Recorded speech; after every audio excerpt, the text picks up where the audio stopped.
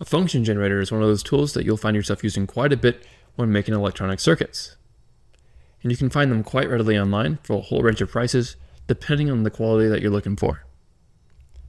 For today's project, I was wondering if it was feasible to make a function generator of our own, with the challenge being that we can only use discrete components and we would have a fully analog design. Now, when making this function generator, we need to accomplish a few things. So let's use my digital function generator as an example.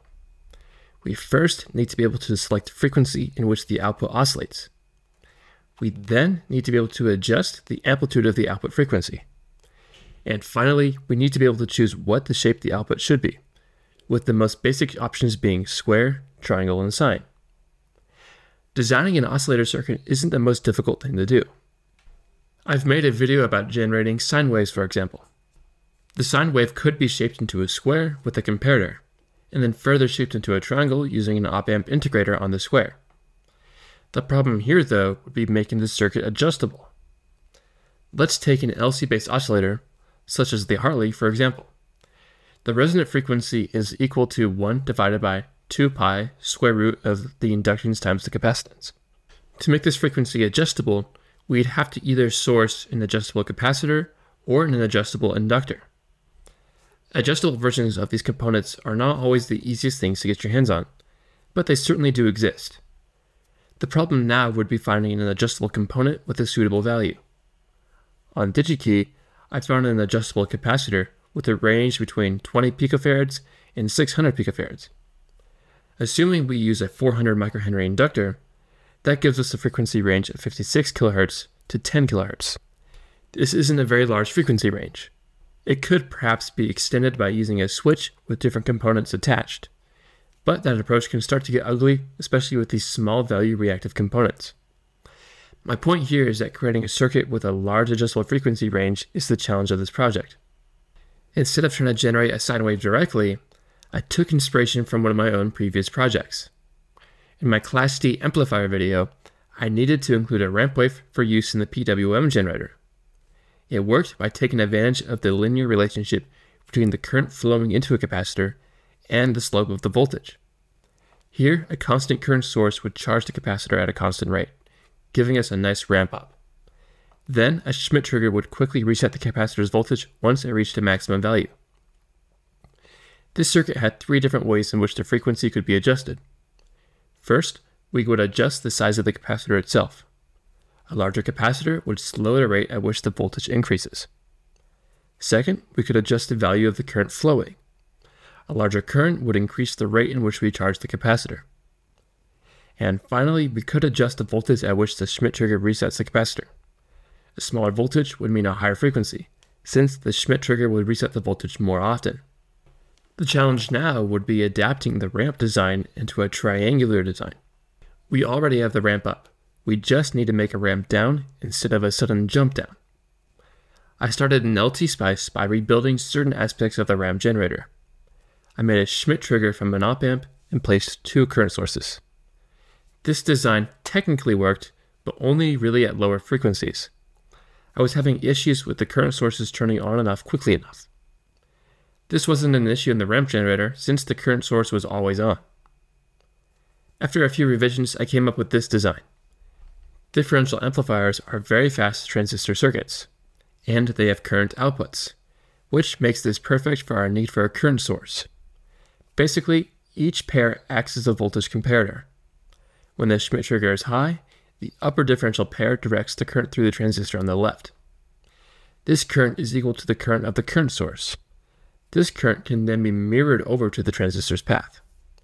Meanwhile, the lower differential pair uses the opposite type of transistor so the current flows through the right transistor, leading nowhere. So this mirror has no current flowing. On the low side of the Schmitt trigger, the opposite happens, vice versa. Both differential pairs share a current source. This way, we don't have to really worry about the matching of the currents between both of them. I designed this current source to have roughly a current of about 10 milliamps, give or take a few milliamps. I was still having issues with the speed of my Schmitt trigger though, so I decided to redesign the entire thing. At its core, what we need is a circuit to switch the current sources whenever a certain voltage threshold has been reached, with an upper and lower voltage. For convenience, I decided that the voltage thresholds should be symmetrical. So, for example, the thresholds would be plus 5 volts and negative 5 volts. This way, the waveform is always centered around zero by default. Once we finish simulating the circuit, we can lay it out and make a Gerber file for it. Afterwards, we can go to JLC PCB for manufacturing, the sponsor of today's video. JLC PCB is a great choice for any electronics project. Every time that I've used their services, they have sent me high quality PCBs at an affordable rate and with a very fast turnaround time. To order a PCB, simply drag and drop your Gerber files onto their website and you will instantly get a quote. You can select other options here to better customize your project's requirements. I personally ordered a 4-layer board for this project and it came in perfect condition. Also, if you have any other requirements for your project, it's worth keeping in mind that JLC PCB can also provide PCB assembly, SMT stencils, 3D printing, CNC machining, and mechatronic parts. Visit JLC PCB now for a $30 coupon for a 6 layer board which means you can get a six layer board of your own starting at just $5. Thank you JLC PCB for sponsoring this video, and we will be soldering their boards later in this video. Now, let's return back to the design of the project. In order to detect when these threshold voltages have been reached, I use differential amplifiers acting as comparators. The specific voltage thresholds are determined by a resistor divider. Now that we have the comparators, we just need to find a way to latch the output either high or low until the other comparator latches it in the other direction. To achieve this, we can use a transistor circuit that utilizes positive feedback. This is a two transistor latch circuit. Here's how it works. When we initially power up, both transistors are off and nothing really happens, which leaves the output high due to the pull-up resistor. Once we apply a current to the base of the NPN transistor, it turns on and pulls the output low. This also turns on the PNP transistor. This PNP transistor keeps the NPN transistor on even after we've removed the initial input current. To make the output go high again, we simply need to pull the input down to the negative rail. This will divert all current that would have gone into the NPN and it turns it off. This also turns off the PNP as a result. And once again, all that's left is the pull-up resistor. Connecting the differential pairs to the circuit is easy enough. The pair that detects the positive voltage can simply run into the input, since we are looking for a current-based input. The negative pair needs an output transistor that will starve the NPN of its current. It's important to include the 100 ohm resistor to maintain the switching speed. This is because the transistor will go into saturation when it's on, and we need a quick wait for the charges on the base to leave the transistor when it's off. Without this, the transistor will stay on for much longer than it should. With all this, we have the equivalent of a Schmitt trigger with a fast enough speed for our purposes. It also conveniently provides us with a square wave output. Now all that's left is to decide how we will select which method we will use to select a frequency. I didn't really want to go with adjusting the current source since higher currents would lead to us wasting a lot more power.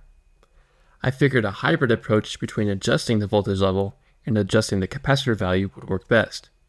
When I say adjusting the capacitor value, I don't mean using one of those adjustable capacitors, but rather having a switch that would select one of three capacitors. The three capacitors would have the values of 1 nanofarad, 100 nanofarad, and 10 microfarad. It's worth mentioning now that these capacitors will all be film capacitors, since cheaper ceramic capacitors change their capacitance with different voltages. This could cause some nonlinearity. Luckily, film capacitors don't have this problem nearly as much. Now, let's talk about how we can adjust the voltage thresholds.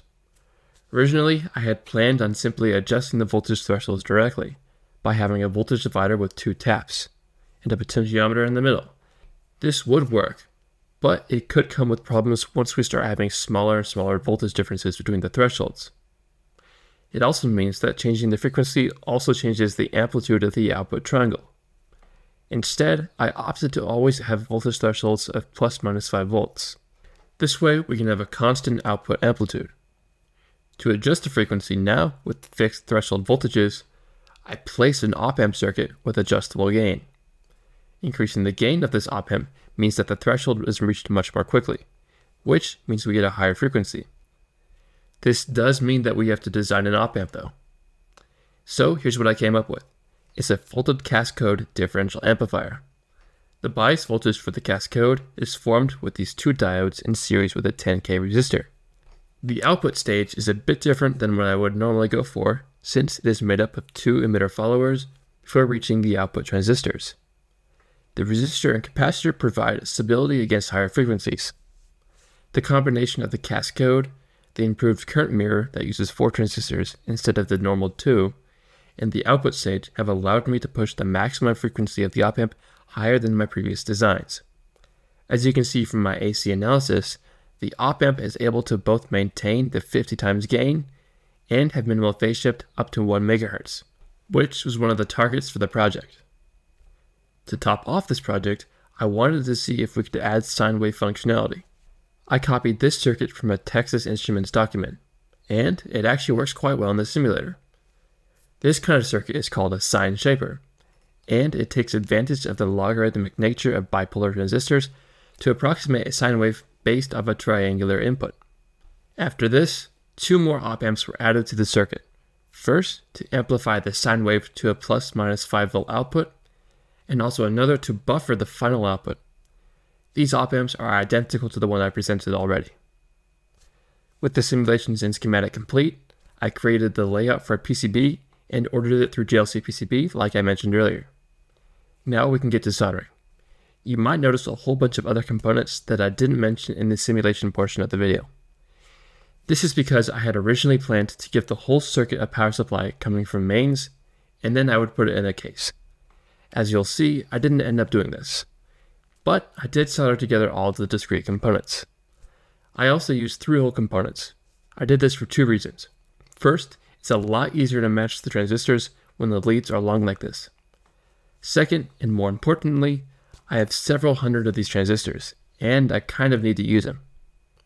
If you plan on replicating this project at home, I really recommend that you surface mount components and use matched pair IC transistors so you don't have to match them manually yourself. It'll make everything much easier. Anyways, like I mentioned, I need to match several transistor pairs before soldering them.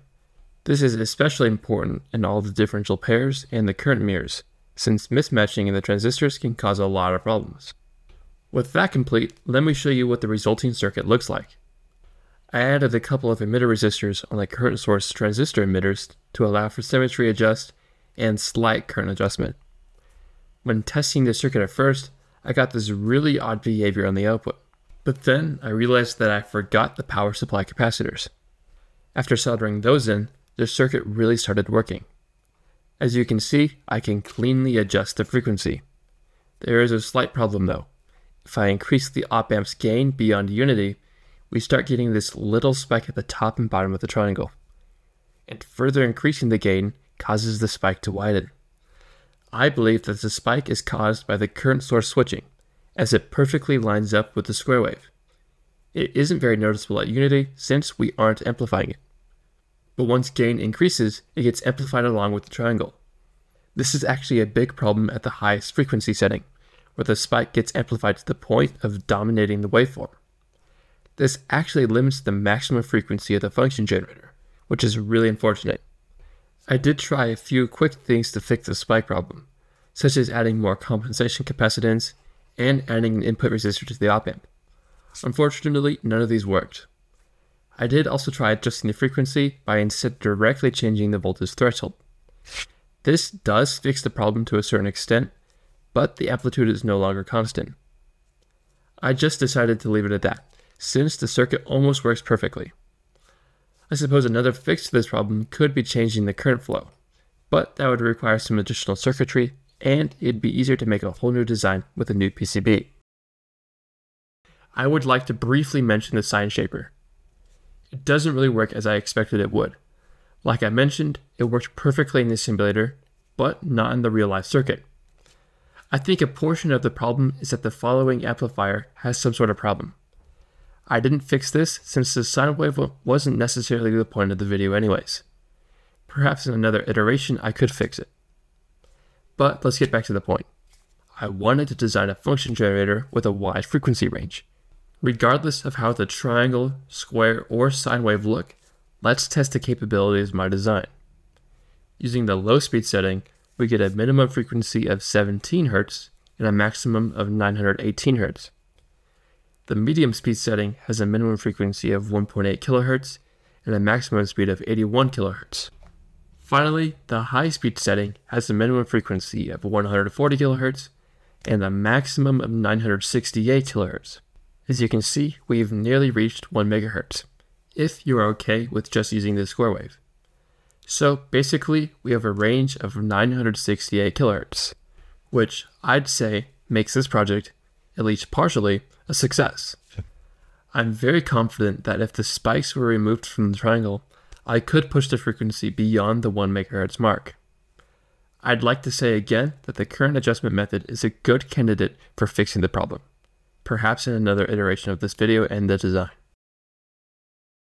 Well, that should just about cover it for this project. It doesn't work quite as well as I had hoped for in the beginning, but I think it serves its purpose as a proof of concept. If you've enjoyed this video and learned something new, please consider subscribing so that you can see my future videos.